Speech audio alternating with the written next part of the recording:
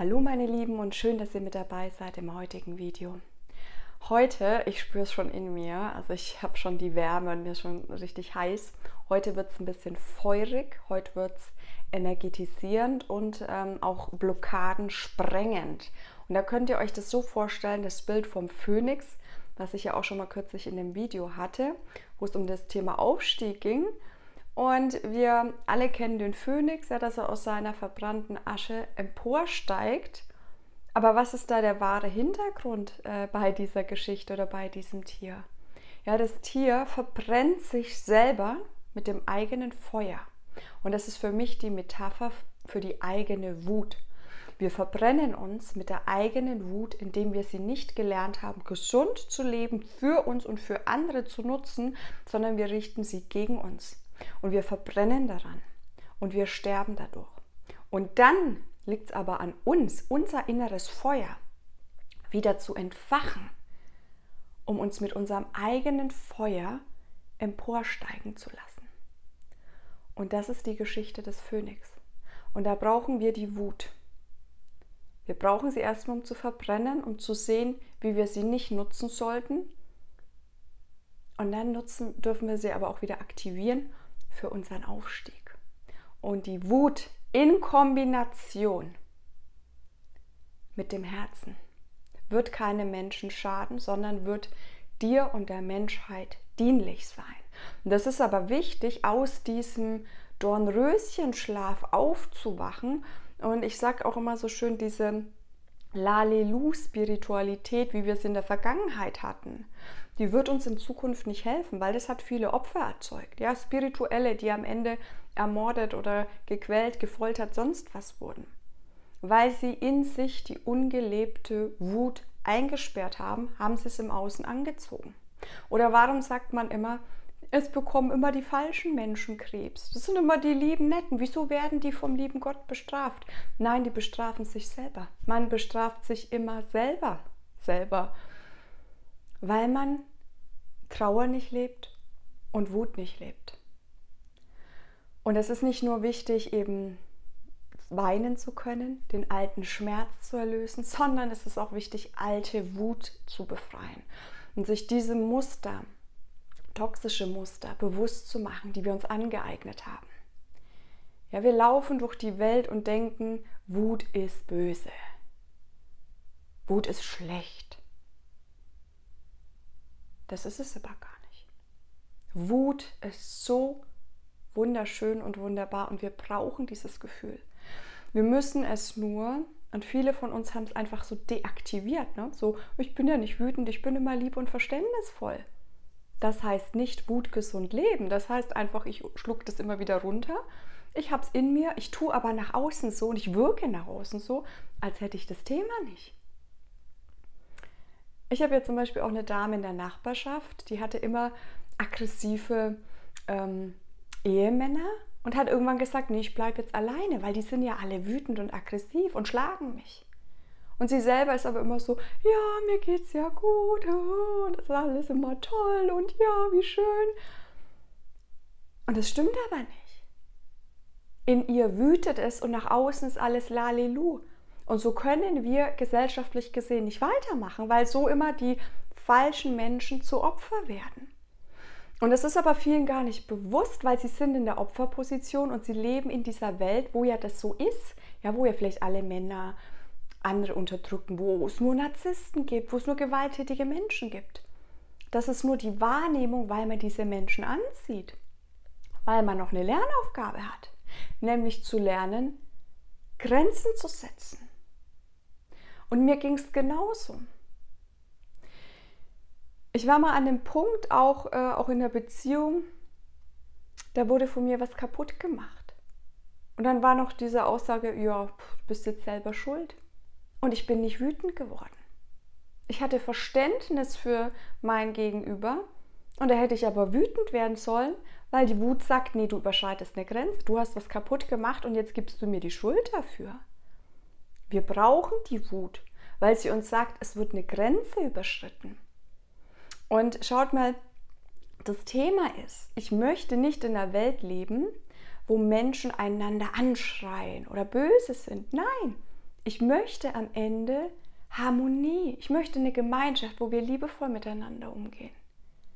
Ich möchte aber auch, oder ich weiß auch, dass diese Gemeinschaft erst dann möglich sein wird, wenn jeder für sich jetzt so, wie er alleine irgendwo gerade vielleicht positioniert ist, wenn jeder für sich gelernt hat, Grenzen zu setzen, den energetischen Schutz aufbaut. Weil Gleiches zieht dann Gleiches an. Und diese Gemeinschaft können wir erst dann bilden, wenn jeder für sich diesen Schutz aufgebaut hat. Weil das der beste Schutz ist vor Angriffen im Außen. Wir brauchen keine Schutzsteinchen oder so. Das kann man machen, wenn es einem gut tut, aber wir brauchen es nicht. Wir brauchen nicht die ständigen Reinigungen oder so. Wenn, wenn man sich danach fühlt, ja, dann tut es, aber man braucht es nicht. Was wir brauchen, ist der energetische Schutz, den wir uns selber erschaffen.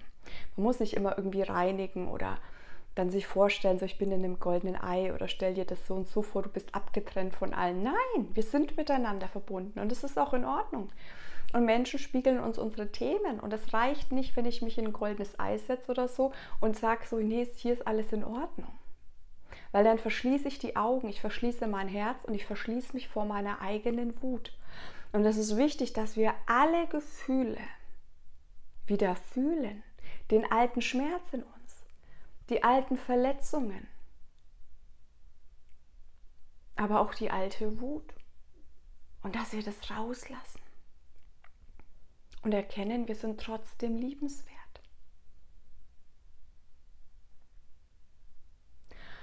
Und das ist ein ganz wichtiger Faktor, weil wir uns nämlich sonst mit unserer eigenen Wut vergiften.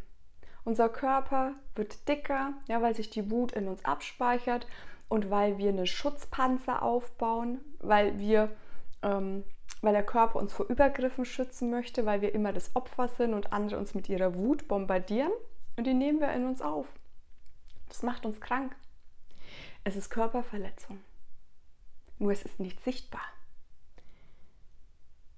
Und als mir das bewusst geworden ist, bin ich auch erstmal aus allen Wolken gefallen, weil mich hat nie jemand geschlagen. Mir hat nie jemand körperliche Gewalt angetan. Und trotzdem war ich, bin ich auch immer noch teilweise innerlich verwundet, verletzt. Ich war immer krank in der Vergangenheit. Ich habe mich immer traurig gefühlt. Ich hatte immer Essstörungen.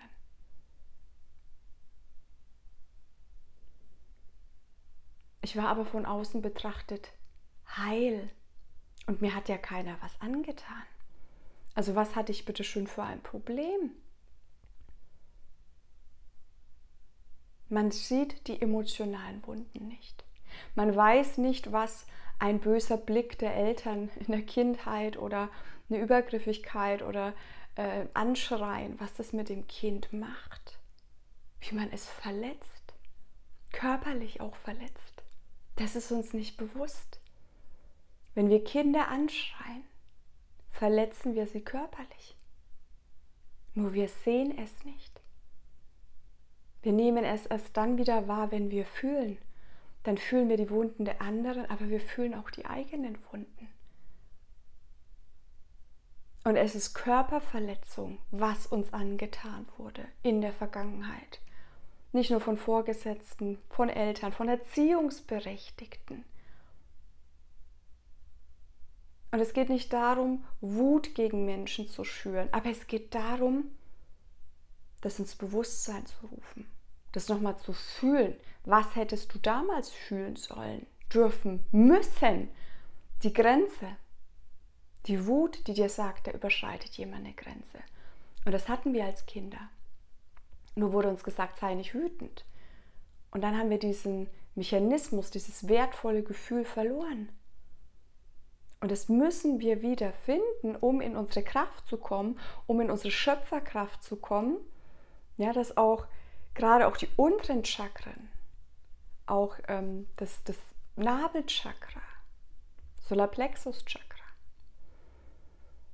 dass es auch wieder arbeiten kann, dass es wieder in Schwung kommt. Und es kommt erst dann in Schwung, wenn wir aufhören, die Wut zu unterdrücken, gegen uns zu richten, in uns hinein zu essen.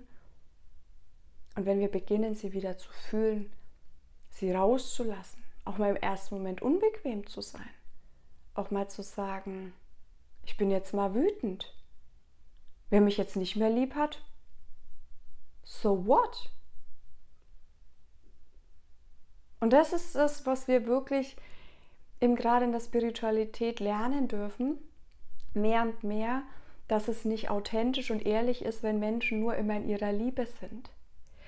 Es ist der Urzustand und es ist der Urzustand, in dem wir zurückkehren werden. Aber es ist faktisch aktuell schwer, nur in der Liebe zu sein, weil wir hier ja auch aus Seelensicht da sind, um alle Gefühle zu erleben und zu nutzen und uns diese Gefühle zur Allliebe, zur bedingungslosen Liebe führen. Die Wut und die Trauer gehören genauso dazu.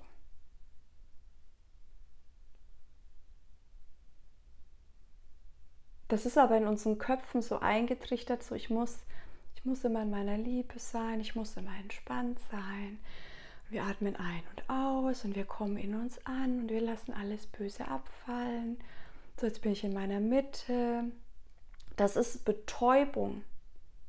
Bitte nicht falsch verstehen. Ich mache auch meine Herzensmeditation. Ich bin auch ein Freund der Liebe. Aber es ist nicht erstrebenswert, das ähm, als Maßstab zu nehmen oder zu sagen, das ist es immer. Das kann nicht so sein. Das ist wirklich, spürt man bei manchen Menschen hinein ob das wahr ist oder ob es so eine Art Betäubung ist.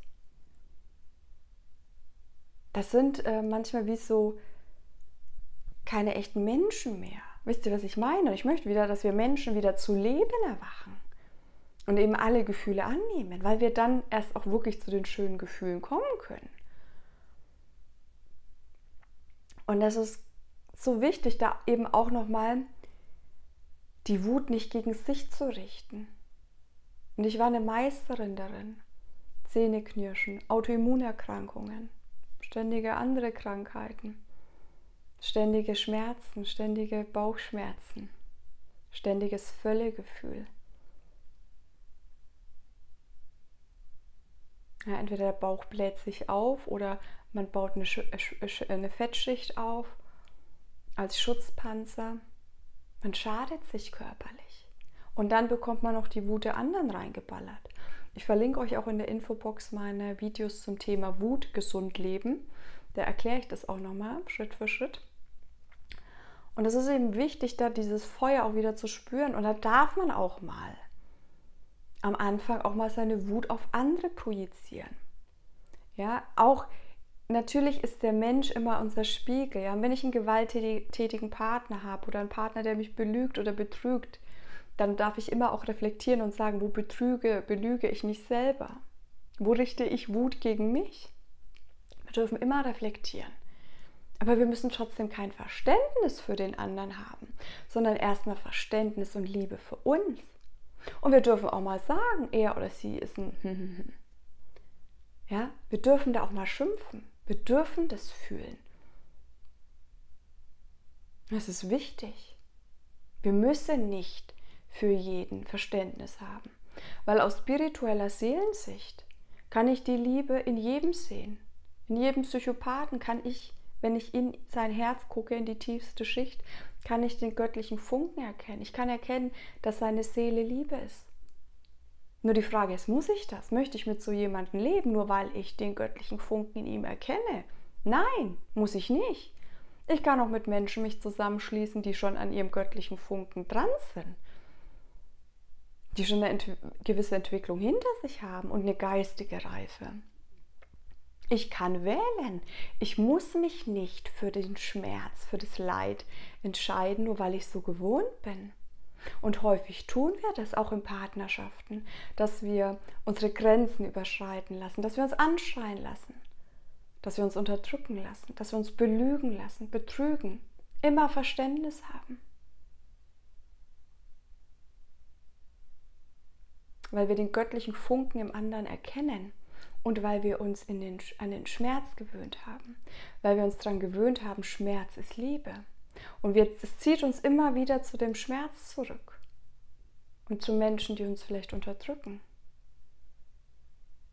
Und an der Stelle nochmal die Info, Schmerz klammert und Liebe lässt frei.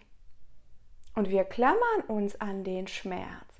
Wir klammern uns an materielle Dinge, wo wir Erinnerungen dran abgespeichert haben oder damit verbinden. Und wir klammern uns an den Schmerz, statt uns für die Liebe zu öffnen. Wir sollten loslassen den Schmerz und uns öffnen für die Liebe. Und dafür ist es aber wichtig, alles zu fühlen. Den alten Schmerz, die alten Verletzungen und die Wut. Und dann als Antrieb zu nutzen und sich die Frage zu stellen, wo möchte ich hin? Wo ist mein Platz? Wie dürfen die Menschen sein, mit denen ich meine Zeit verbringen möchte? Wie darf mein Leben sein? Was möchte ich? Weil wir da unsere Schöpferkraft nutzen dürfen. Unsere Gefühle und Gedanken, die unsere Zukunft manifestieren. Und das können wir aber erst dann, wenn wir aus dieser Betäubung aufwachen. Und wenn wir beginnen, nicht nur zu manifestieren, sondern auch das umzusetzen. Und die Manifestation funktioniert erst dann, wenn unsere Chakren auch frei sind. Ja, wenn auch unser, unser Schöpferzentrum, auch die unteren Chakren, wenn die auch arbeiten. Anders können wir nicht manifestieren. Ich kann nicht nur mit dem Herzchen manifestieren. Da gehören die anderen Sachen auch dazu. Warum sind denn so viele Menschen erfolgreich geworden? die mit verschlossenem Herzen unterwegs waren. Die haben aus der Wut manifestiert. Oh, ich habe mal gehört, ich schaff's nicht. Ja, ich werde allen beweisen, wie ich es schaffe. So wurde erwirtschaftet, ja. So war nur auf äußeren Wachstum vieles gerichtet, nicht alles, ja, aber vieles. Aus dem Ego, aus der Wut. Ich beweise es allen, dass ich es kann. Ich beweise es allen, dass ich erfolgreich werde. Ich beweise es allen, dass ich es schaffe. Auf welche Kosten? Auf Kosten der Erde und auf Kosten der Seele, weil wenn sich irgendwann das Herz beginnt zu öffnen, spüren die Menschen, dass da was nicht stimmt in ihrem Leben und dass das, was sie erschaffen und zerstört haben, aus dem Ego kam. Und dann kommt erstmal der Schmerz, die Gefühle. Was habe ich da getan? Und man darf jedes Gefühl auch annehmen, erstmal. Und anerkennen, wo es herkommt. Wo wurde ich verletzt, dass ich so wurde? Wer hat mich so gemacht? Und die, der Ursprung liegt immer in der Kindheit. Ich möchte jetzt nicht, dass jeder anfängt, seine Eltern zu hassen, ja, weil ich habe auch irgendwann gesagt, ja, ich habe mir euch mich euch ausgesucht, ja, um diese Erfahrungen zu erleben. Aber häufig nehmen wir dann Menschen in Schutz und sagen, ja, ich wollte das ja so, ja, ist ja meine Schuld. Nein, man darf da auch mal hier erkennen, wo es herkommt. Man darf das nochmal fühlen. Die Einsamkeit, die man vielleicht hatte als Kind. Das sich alleine gelassen fühlen mit seiner Trauer. Das abgelehnt fühlen, wenn man wütend war die Bestrafung, die man da bekommen hat. Häufig wollen Kinder, wenn sie wütend sind, wollen sie Liebe. Dann werden sie wütend und bekommen aber keine Liebe, sondern bekommen Schimpfe. Ja, und deswegen spür auch nochmal, wie sich das angefühlt hat. Die Ablehnung, der Schmerz in dir, die Wut, die du schlucken musstest die Tränen, die du nachts alleine geweint hast, weil du wusstest, mir hilft keiner, mir kann ja gar keiner helfen.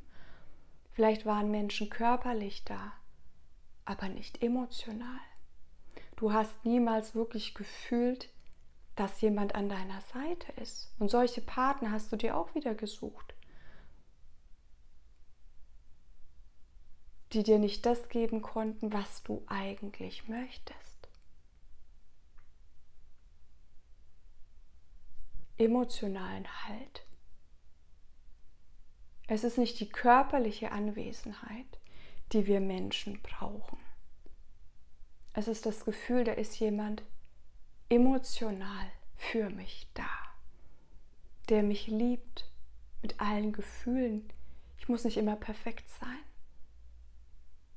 Ich muss nicht immer glücklich sein. Ich darf mal traurig sein, ich darf mal wütend sein. Ich darf alles sein. Das ist Liebe. Wie viele von uns denken, wenn sie einen Streit haben, oh Gott, jetzt ist alles vorbei. Ja, oder der andere wird wütend und dann so, jetzt ist es vorbei. Jetzt habe ich den verloren, weil jetzt war der wütend.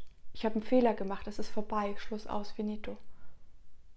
Viele von uns sind so konditioniert.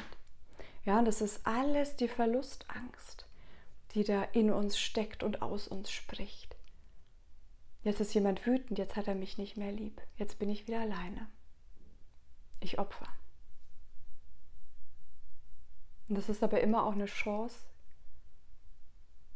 sich wieder zu öffnen und auch diese Gefühle nochmal zuzulassen. Aber eben nicht nur den Schmerz, sondern dann auch die Wut zu spüren. Wer hat mir das angetan? Wann musste ich aufessen, obwohl ich keinen Hunger hatte? Wann wurde ich belohnt, weil ich was gut gemacht habe mit Essen? Wann wurde ich bestraft und habe nichts zu essen bekommen? Wann musste ich hungrig ins Bett gehen, weil ich böse war? Wir dachten in der Vergangenheit, Erziehung ist Konditionierung. So wie wir Hunde konditioniert haben. Oh, hast du was gut gemacht, kriegst ein Leckerli. Na, warst du böse, gibt es kein Leckerli. Wir wurden konditioniert, wir wurden nicht mit Liebe erzogen, sondern mit Regeln, mit dem Verstand, mit Belohnung und Bestrafung. Und das muss man nicht, weil uns die Gefühle bestrafen. Wenn ein Kind was falsch macht und man ihm das erklärt und es sich dann schämt, ist das die Bestrafung, die Scham. Ich muss ihm nicht noch irgendwas wegnehmen. Spielzeug oder Essen als Bestrafung, weil das Gefühl das Kind bestraft. So dürfen wir erziehen, mit den Gefühlen. Aber das machen wir nicht oder haben wir nicht gemacht und deswegen haben wir, wurden wir verschlossen auch. Und Eltern haben ihre Kinder nicht geöffnet für die Gefühle und erklärt, so jetzt hast du was geklaut. Wie fühlten sich das an, wenn du jemand was wegnimmst? Wie wäre es, wenn dir was jemand was wegnehmen würde? Ja, so, und dann kommt die Scham und dann ist es die Strafe. Ganz schlimmes Gefühl. Das Kind würde nicht mehr klauen, weil es die Scham spürt. Nur was, kommen, was machen Eltern? Sie kommen, sie schimpfen, du darfst nicht klauen, schreien das Kind an und es verschließt sich mehr und mehr. Bis vielleicht irgendwann die Gefühle, auch die Schamgefühle weg sind. Oder man schließt sie in sich ein. Und die Eltern wissen nicht, dass das Kind eben mit dem eigenen Gefühl bestraft wurde. Nein, es bekommen noch die Wut Eltern.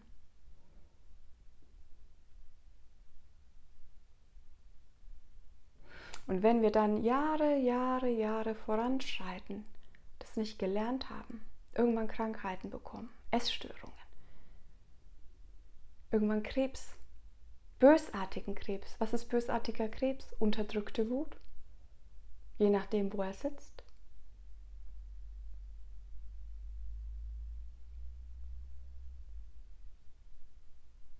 Dann sieht man die Parallele nicht mehr.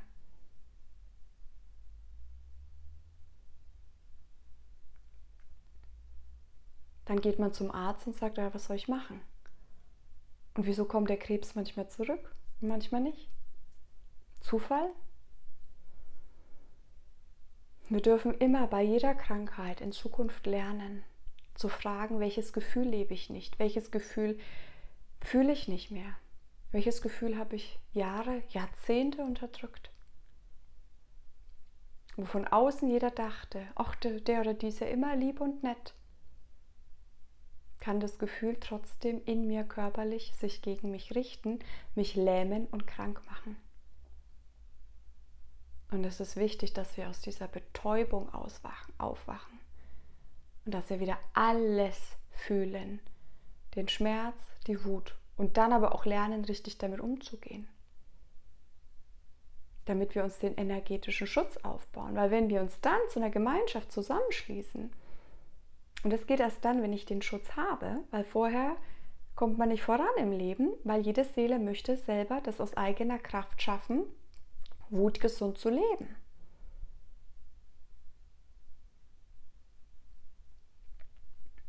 Dann kommen wir in eine Gemeinschaft, wo alle schon diesen energetischen Schutz haben, wo jeder gelernt hat, mit seinen Gefühlen ins Reine zu kommen, wo man weiß, wenn ich andere verletze, verletze ich mich wo wir verstanden haben, wir sind alle eins.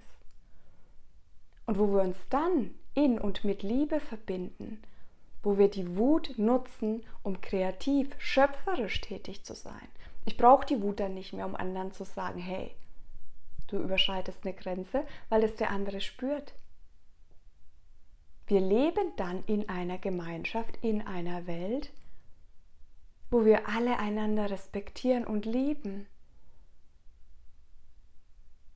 Das wird so kommen, aber eben erst dann, wenn jeder für sich das verstanden hat, aus dieser Betäubung erwacht und manche Sachen einfach nicht mit sich machen lässt. Und auch nicht aus Höflichkeit, wie viele gehen ins Restaurant, bestellen was und dann kommt es vielleicht falsch und dann sagt man, ach ja, okay, nee, das, na, ich esse das jetzt schon, ist jetzt blöd, sich zu beschweren. Nein, du hast das anders bestellt, dann sag ganz lieb und nett, du, ich wollte es jetzt eigentlich so haben, weil ich so bestellt habe. Kön könnte man das bitte ändern? Ja, aber dann haben wir auch häufig so gelernt, oh, beschwer dich nicht, das ist blöd, ne? Es gibt Leute, die beschweren sich immer, weil sie immer meckern wollen. Und dann gibt es aber auch welche, die trauen sich nicht, weil sie keine Arbeit machen wollen. Und wir, sage ich jetzt mal, alle, die mit mir in Resonanz äh, stehen, sind vielleicht eher so bei zweiterem. Oder schaut mal, ich auch, ich erinnere mich auch an meiner Kindheit. Ich habe häufig Sachen gegessen, auch, also auch als Erwachsene, die gar nicht mehr so gut waren, ja, die man wegwerfen sollte. Aber ich weiß noch auch, ähm, äh, mein Vater, der hat dann immer so auch gesagt, wenn irgendwie was weggeworfen wurde, so, oh Gott, was wegwerfen, oh, ist ja schlimm. Daniela, oh, du hast das weggeworfen. Oh. Das ist aber blöd, ne? wenn man Essen wegwirft. Und ja, es ist blöd, wenn man Essen wegwirft. Aber ich bin auch nicht der Mülleimer. Ja, also wenn was nicht mehr so gut ist, ich werfe es lieber weg, als dass ich es esse. Wieso soll ich der Mülleimer sein, nur weil es schade ist, Essen wegzuwerfen? Ja, bevor ich mir damit Schaden zufüge, werfe ich es lieber in den Mülleimer. Wisst ihr, was ich meine? Aber ich habe dann angefangen, was zu essen, was nicht mehr so wirklich so gut war, weil, oh, es ist ja, oh, schon wieder was wegwerfen, oh, das ist aber schade. Ja, wenn es schimmelig ist, dann schmeiße ich es lieber weg, weil es ist halt einfach nicht gesund, äh, was zu essen, wo halt Schimmel dran ist, ja. Aber das machen wir häufig und irgendwann wacht man auf und denkt sich, wieso, wieso mache ich das? Wieso bin ich der Mülleimer für Essen und wieso bin ich der Mülleimer für die Gefühle der anderen? Wieso kommen alle zu mir, laden ihre Wut ab? Wieso kommen alle zu mir und heulen sich aus? Was glaubt ihr, was ich für Männer angezogen habe in der Vergangenheit?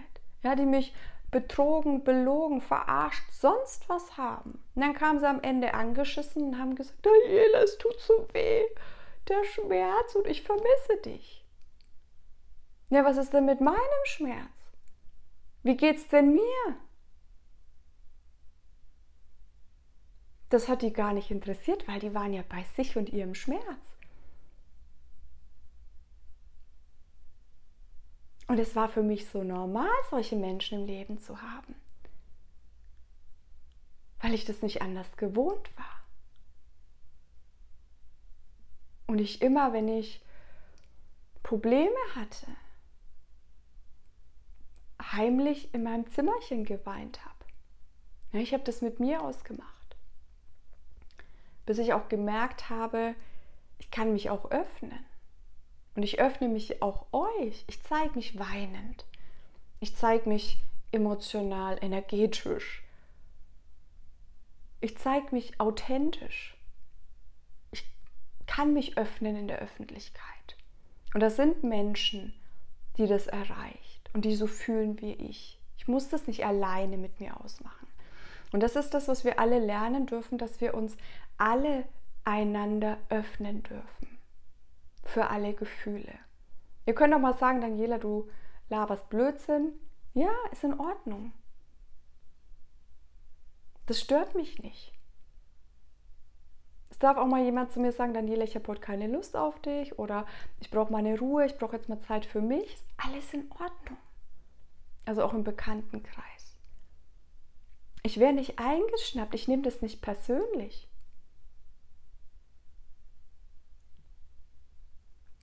weil das nur Menschen persönlich nehmen, die, die eine Verletzung haben. Und da dürfen wir auch aussortieren. Wenn ihr sagt, ich habe heute keine Lust und der andere ist genervt, dann ist es nicht dein Problem, weil du hörst auf deine Bedürfnisse. Und wenn der andere wütend wird oder sagt, oh, das macht mich traurig, was mache ich denn jetzt? Dann sagst du ja, hast jetzt eine Chance, mal das rauszufinden, was du gerne machen möchtest. Aber ich darf jetzt auf meine Bedürfnisse mal hören. Und das ist auch ganz, ganz wichtig und das würde ich euch noch als Übung mit an die Hand geben. Wie häufig im Leben, wenn du durchs Leben gehst, die nächsten Tage und Woche, Wochen, wie oft machst du was für andere, obwohl du keine Lust hast? Wie oft isst du was, obwohl du keine Lust oder keinen Hunger hast? Wie oft isst du was, was dir gar nicht schmeckt, weil es dir vorgesetzt wird? Wie oft machst du was aus Höflichkeit?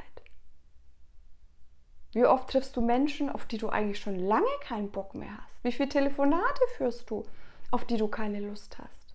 Wo du denkst, du musst für andere da sein, wo du denkst, du musst für andere dies oder das sein. Du musst für andere stark sein, du musst anderen immer gute Laune geben. Ich bin auch hier fürs Glücklichsein, für die Gesundheit, für die gute Laune. Aber das geht nicht ohne Wut und ohne Schmerz. Und ich kann diese Gefühle nicht wegreden. Ich kann sie nicht wegmeditieren, ich kann sie nicht wegdenken, äh, nicht sonst was. Die sind da und die sind wichtig. Und unsere Seelen wollen diese Gefühle fühlen und nutzen, weil sie uns erheben und in unsere Phönix-Energie bringen.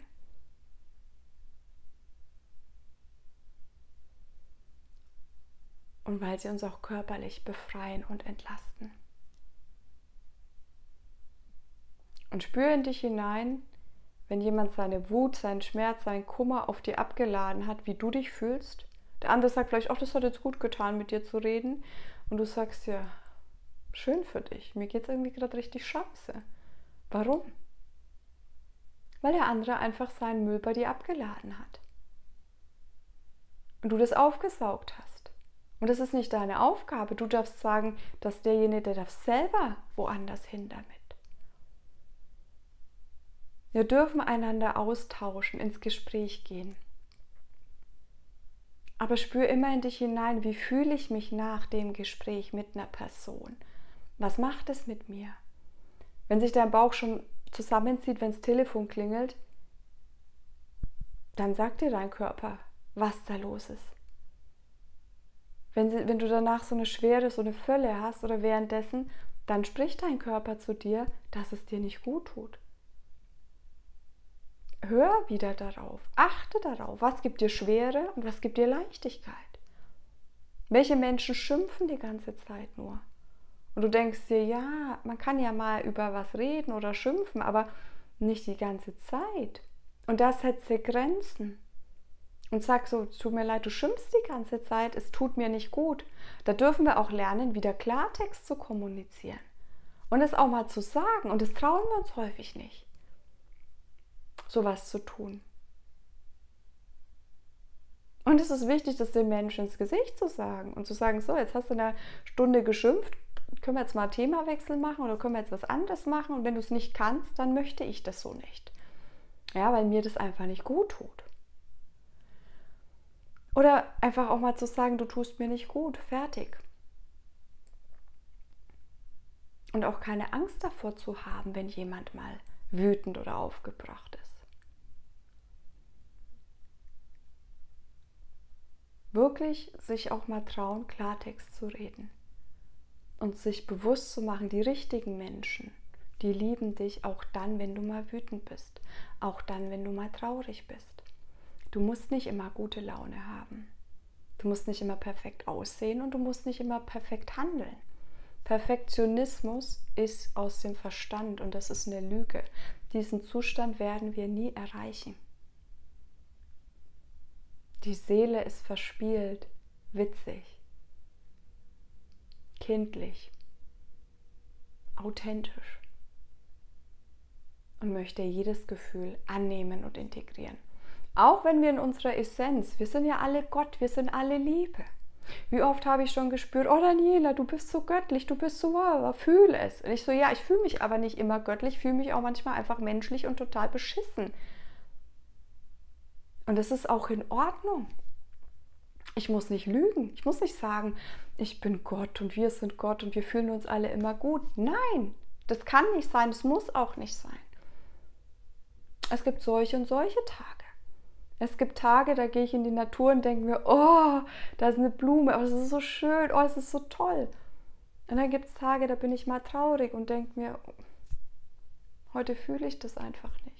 Egal, wo ich heute hingehe, ich habe meine Traurigkeit in mir und ich fühle es irgendwie nicht so.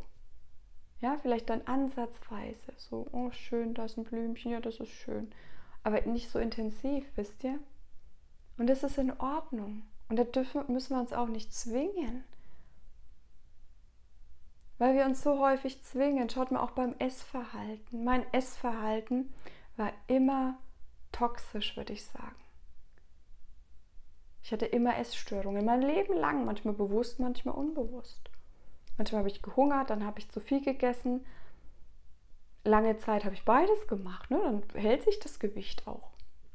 Wenn ich eine Woche gar nichts esse und dann fresse ich mich voll, muss wirklich fressen sagen, dann esse ich wieder ein paar Tage gar nichts, dann esse ich wieder total viel, bis ich denke, ich platze. Das hält sich die Waage in der Summe. Nur die Frage ist, ist das gesund oder ist es nicht gesund? Es ist nicht gesund. Weiß der Kopf auch. Aber auch da dürfen wir uns bewusst machen, dass Gefühle involviert sind, weil der, die Trauer, der Schmerz lässt uns häufig hungern. Ne, wie ist es nach einer Beziehung? äh, wenn vielleicht einer Schluss gemacht hat, häufig essen wir nichts äh, aus dem Schmerz, aus der Trauer oder aus dem, äh, ne, so jetzt, jetzt hungere ich, weil, keine Ahnung, ich bestrafe mich jetzt auch und ich will jetzt abnehmen und wie auch immer. Und, und die Wut lässt uns rein essen. Ja? Und häufig ist es so ein Wechselspiel der Gefühle zwischen Trauer und Wut und dann vermischt sich das. Ne? Manchmal hungert man auch aus der Wut. Aber es ist halt so wichtig zu erkennen, dass sind Gefühle involviert. Ja, oder häufig so eben so Zwischending. Wut ist schon meistens so diese Kaubewegungen. Also aus meiner Sicht ähm, oder aus meinem Gespür heraus ist einfach so dieses Hungern, der Schmerz, die Trauer, so dieses lethargische, dieses Nichtstun. Und Wut ist so dieses aktive, aggressive, aber eben gegen sich richten. Mit destruktivem Essverhalten oder eben auch Krankheiten. Am Ende Krebs. Und die Heilung beginnt nicht im Außen, am Körper oder am Rausschneiden. Kann man alles machen, soll man alles machen, ist alles in Ordnung. Aber die Wurzel der Ursache, also die Ursache, sind die Gefühle. Immer. Bei allem. Unser Leben, unsere materielle Welt ist aufgebaut aus unseren Gedanken und aus unseren Gefühlen.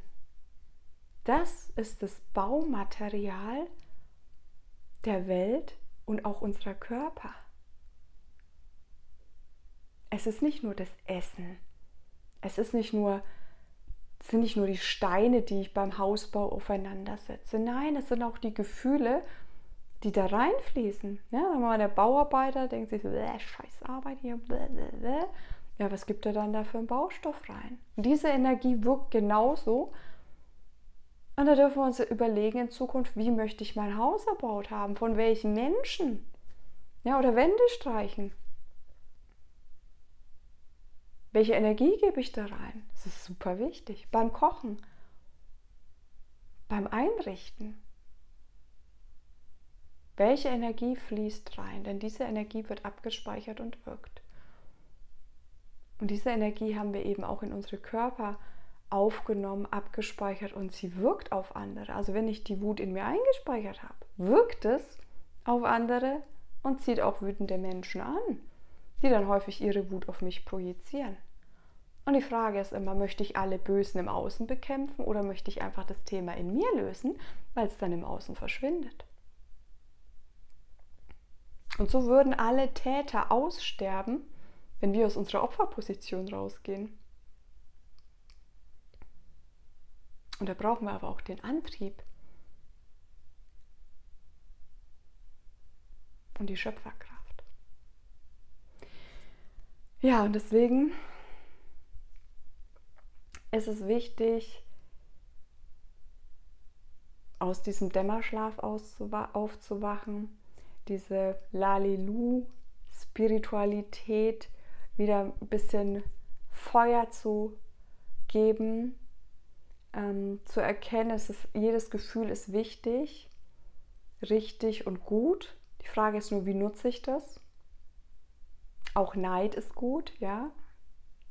Wenn ich neidisch bin auf jemanden, der immer im Urlaub ist, denke ich mir, ja, Daniela, Daniela dann mach doch Urlaub. Wenn ich keinen Urlaub machen kann, dann denke ich mir, wieso habe ich mir mein Leben so kreiert, dass ich keinen Urlaub machen kann? Soll ich jetzt auf den anderen neidisch sein die ganze Zeit? Bringt mich das weiter? Nein. Bringt es mich weiter, wenn ich den Neid nutze, um für mich mal irgendwie Urlaub zu erschaffen, wie auch immer das funktionieren wird? Ja, das bringt mich weiter. Aber der Neid ist erstmal das Gefühl, hey, da hat jemand was, das willst du auch.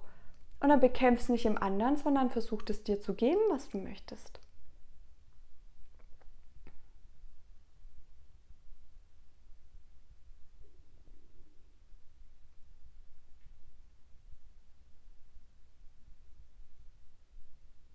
Da dürfen wir lernen, mit unseren Gefühlen umzugehen. Und deswegen, ja, soll es das für heute gewesen sein. Lass die Energie einwirken. Also da steckt auch ein bisschen Bums dahinter. Unterschätzt das auch nicht. Ja, das ist äh, wirklich wie, ja, es kann wie, wie Medizin, also wirklich dieses Einwirken ist für mich so, ne, wenn man in Worte eine bestimmte Intention gibt, ne, das ist ja so dieses Wachrüttelnde auch, dann macht es was mit ein, dann kommt vielleicht auch was hoch, vielleicht ploppen so Erinnerungen auf in deiner Partnerschaft, aus deiner Kindheit, was aus der Vergangenheit wo du plötzlich Sätze hörst, so, oh, du musst es aufessen, du musst das, du musst jetzt essen, du musst es so und so machen, du musst so und so essen, du darfst nicht mit dem Essen spielen, du darfst alles. Wenn du Bock hast, einen Joghurt mit Fingern zu essen, dann mach's doch einfach. Ja, oder, ja, also, wisst ihr, was ich meine? Wir können alles machen, schadet ja keinem. Und das sei mal wieder Kind, spiel damit, gib da eine gute Energie rein und beobachte, wann du im Leben Grenzen setzen sollst, wann du keine Lust hast, wann du was tust in deiner Freizeit, wozu du keine Lust hast. Zwing dich nicht.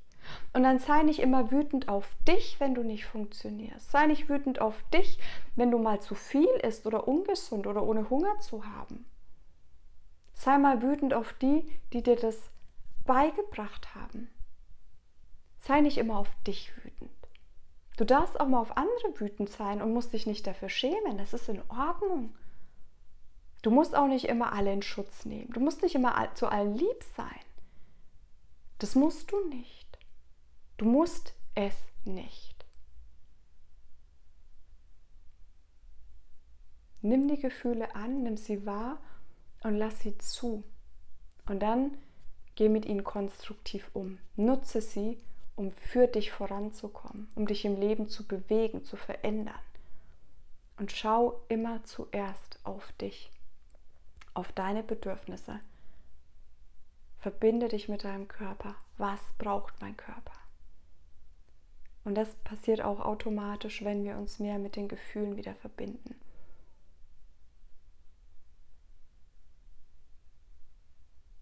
Und wenn dich was triggert, Schau hin, warum triggert es mich. Versuch es nicht im anderen zu bekämpfen, aber wenn du auch mal wütend bist auf den anderen, dann sei mal wütend auf den. Sei nicht immer nur auf dich wütend. Belaste dich nicht immer selber mit deiner Wut und belaste, lass dich auch nicht von anderen immer belasten. Du spürst genau und dein Gefühl sagt dir genau, wann du mal auf jemanden auch wütend sein darfst.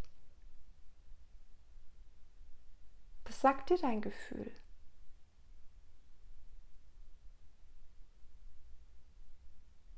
Und dann mach eine Grenze.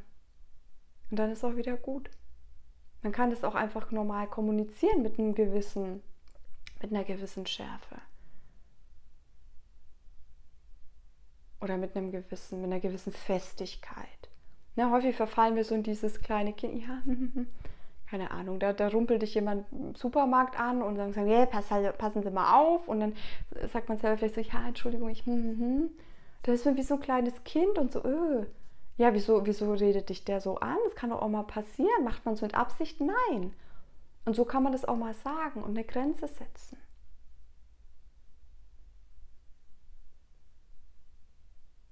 Weil sonst nimmst du die Wut vom anderen auf und dein Körper macht was damit.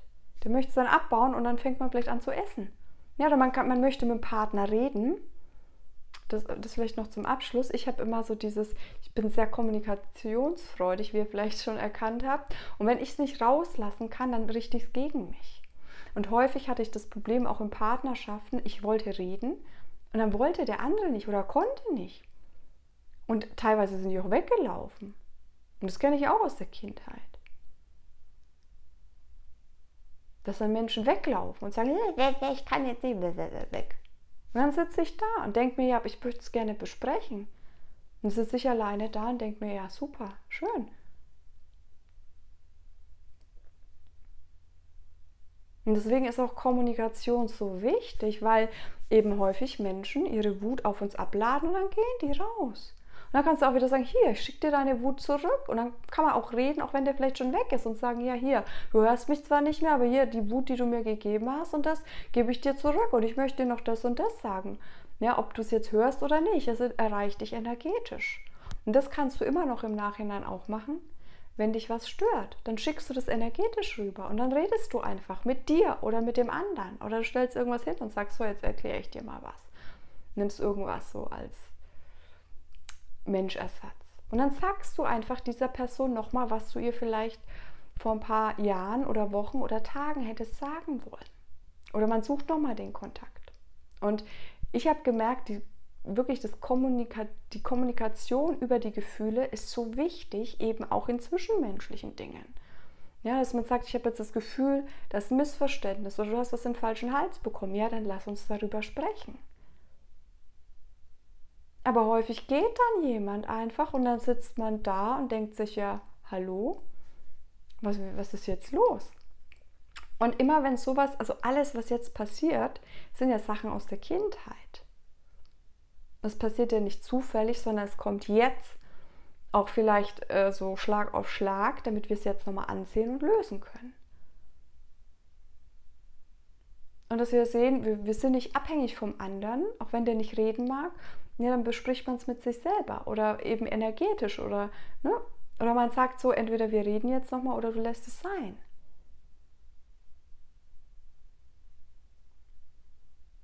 Und da dürfen wir wieder auch lernen, erwachsen zu werden, was wir früher nicht konnten durch die Erziehung.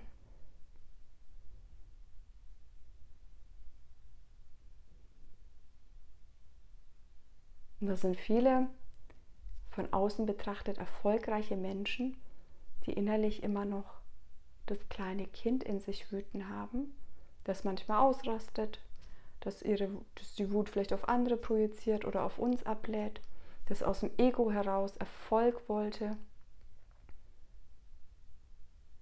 Es sind viele Menschen, die nicht gelernt haben, die Gefühle zu fühlen oder anzunehmen oder gesund zu leben. Aber das sind jetzt auch Sachen, wo gerade, ne, wir reden auch immer von Herzöffnung und dass sich auch die ähm, Frequenz der Erde erhöht. Ja? Also die Herzen werden auch automatisch geöffnet. Manchmal suchen es oder die Seelen suchen sich eine Möglichkeit, ja, schmerzhafte Trennungen, ja, dass was wegbricht, Krankheiten, Schicksalsschläge, Unfälle, was auch immer, oder dass jemand stirbt und dann wird das Herz auch aufgebrochen und dann kommt der alte Schmerz hoch. Und dann dürfen die Menschen lernen, damit umzugehen und das auch mal anzunehmen und zu fühlen, wo kommt es her. Und aber auch die Muster zu durchbrechen, dass man es nicht in Zukunft so weiterführt. Dass man sich nicht wieder verletzen lässt, dass man sich nicht wieder so, ne, dass, dass man einfach diese Muster durchbricht. Und da ist jetzt die Chance. Deswegen alles, was hochkommt,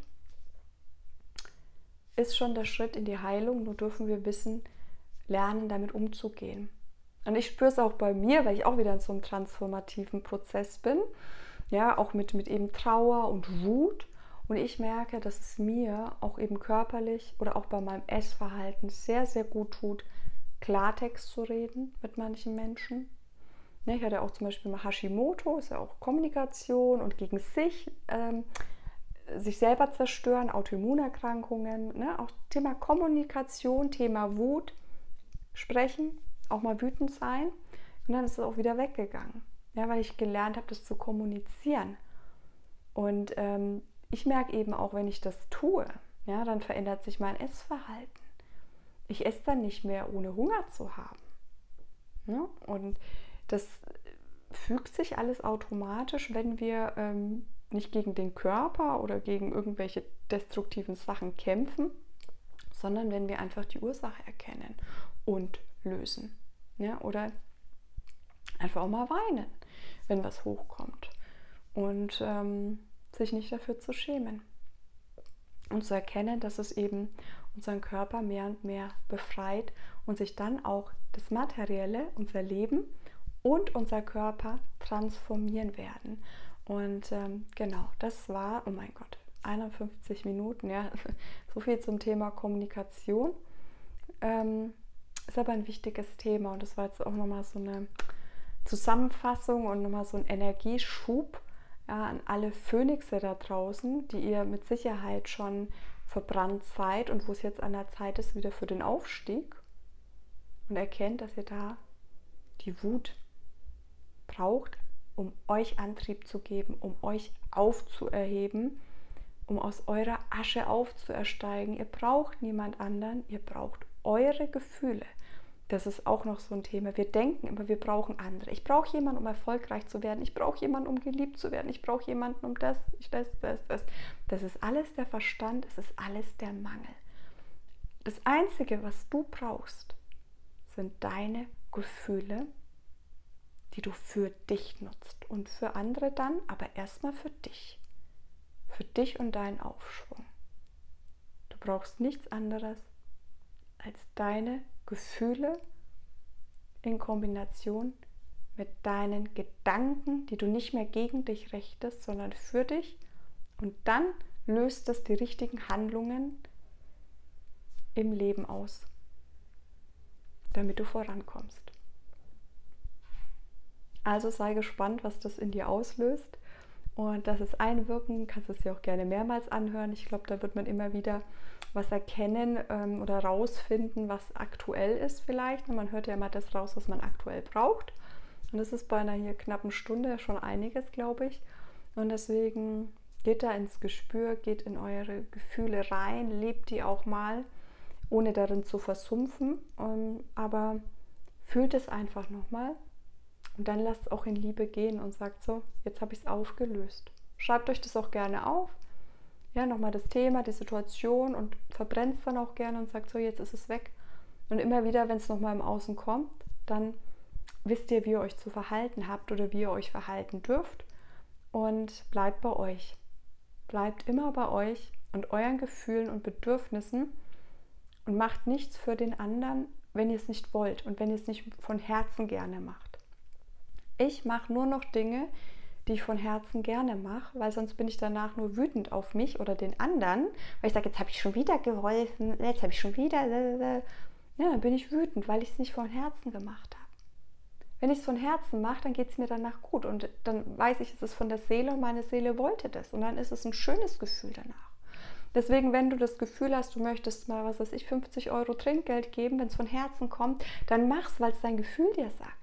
Wenn, wenn du aber die Verpflichtung fühlst und sagst, ich muss jetzt ein bisschen Trinkgeld geben und eigentlich mag ich gar kein Euro Trinkgeld geben, dann gib gar nichts. Wenn du jemandem helfen möchtest, weil du denkst, es fühlt sich gut an, dann tu es. Wenn du aber gerade fühlst, nee, ich kann gerade nicht, möchte nicht, warum auch immer, ich habe da Nein, ein inneres, so ein Widerstand, so, äh, dann mach's nicht. Und wenn es der andere einfordert, bleib bei dir. Dein Gefühl sagt dir was du zu tun hast. Und was der andere sagt, ist sein Gefühl oder sein Ego. Bleib bei dir und deinen Gefühlen und nicht beim anderen. Beim anderen, bei den anderen warst du dein Leben lang. Jetzt ist es an der Zeit, zu dir zu kommen, zu dir zu finden, zu deinen Bedürfnissen, deine Gefühle an erste Stelle zu stellen. Deine Bedürfnisse wieder kennenzulernen, um dich gesund, glücklich und auch schlank zu machen, weil das ist auch ein Nebeneffekt. In diesem Sinne darf dir wie immer völlig egal sein, was andere über dich oder dein Leben denken. Denn wichtig ist, wie du dich fühlst.